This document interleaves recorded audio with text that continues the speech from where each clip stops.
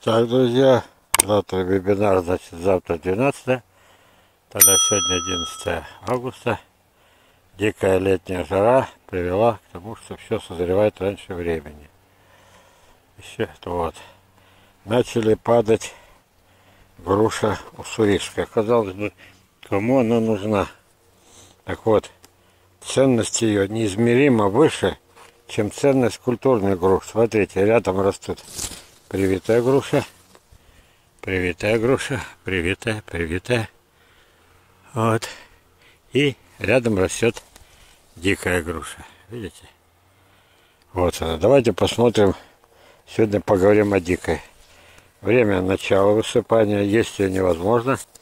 Ее можно использовать. Вот поймали, допустим, террориста. Заставили в рот, положили ему килограмм и заставили съесть. Это такая гадость по вкусу, что все расскажет. Пыточное средство. Но в садоводстве груша. Давайте еще покажу. Вот видите? Это лада. Это, это чудо груша. Смотрите внимательно. Вот так ее надо отрезать. А, а, ну, в данном случае отломать. Но я опытный товарищ у меня. Прекрасно все получается. Вот она, плодушка. Видите? Если ее дернуть сильнее, плодушка целиком обламывается. Я таких примеров много приводил. Она на грани падения, то есть еще несколько дней она упадет. Это одна лада, одна из лучших груш. Я ее сравниваю с автомобилем, ну, мужики поймут, 2101. Вот.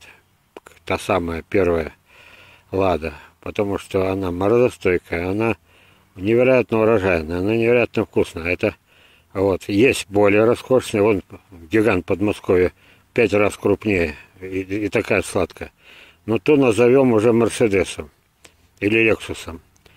А Жигуль 2101, вот он сейчас только на ваших глазах оторвал. Вот его плодушка, вот она. Вот она, левая рука у меня трясется. Вот видите.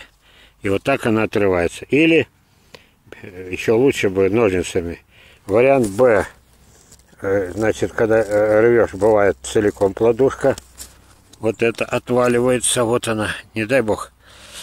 Или вариант еще бывает вот тут отваливается, смотрите, вот тут вот, вот. Но когда целиком, ну она чуть-чуть переспеет, и тогда, сейчас она крепко держится, чуть переспеет, и тогда она вот, вот здесь вот, смотрите, вот в этом месте, поняли? Тогда получается плодушку сохранили максимально. Вот. Зато долго не хранится. Поняли? Ну что, пробуем? Ну, сказка. Позавидовали? Тогда надо, чтобы у вас такие были. Пойдем, смотрим сюда. Так вот, груша лада. Вот это вот груша, что я вам сейчас показал. Не так цена, как именно дикая уссурийская. Вот она. Ну, она тут рядом по соседству растет с этим самором абрикосом. Кроны сместились. Вон она. Сейчас я вам покажу близко. Да. Ой. Смотрим сюда.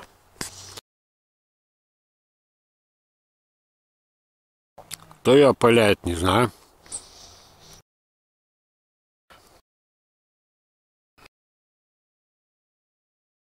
Гарантированно. Вот, пелка. Но ценность ее необычайная. Грушалада. Только одна из, я это называю высшая лига. 15-20 лучших в мире сортов у меня. Так. Ни один ни вход не испортил вкус. Ни одной. Вот. Каждая цена. Но самая ценная на этом свете из груш. Дикая уссурийская груша. Вот она. Посыпались первые плоды. я начинаю делать о ней фильм. Почему? Потому что это она не замерзает никогда. Клянусь Богом, что у меня груши, привитые на ней, никогда не болеют, никогда не замерзают, почти никогда не пропускают урожай вот это чудо из чудес дает вот это. О, для не вас. А почему? прошлом году я так не смог продать все семена дикой уссурийской груши. Ну, причин несколько. Руки опустили ребята. Вот. Когда вы из косточки семечки вырастите, у вас будут вот такие урожаи. Это слабый урожай. Почему? Ее некому опылить. Вот и все. Поэтому она самоплодная, достаточная. И одной такой груши хватит, чтобы процветало садоводство в целом регионе. Например, Хакасии, например, в Красноярском крае, например, Кемеровской области, в Иркутске. Одной такой. К сожалению, это несбыточная мечта. Эта груша практически не нужна никому, включая науку. У нее есть особое невероятное качество. Единственный подвой, который я не приучал к привою. Единственный э, под, под, э, привой, который я не приучал к подвою. Сразу. Любой сорт, откуда бы я его не достал, сразу принимает. Не отторгает никогда. Почему так? Она же дикая. Я достал в том месте, где рядом в километре, в двух-трех не росла ни одна культурная груша. И тем не менее, она совместима. И это ее важнейшее качество. Благодарю за внимание. Впереди осень. Начинаю заготовку семян уже через две недели.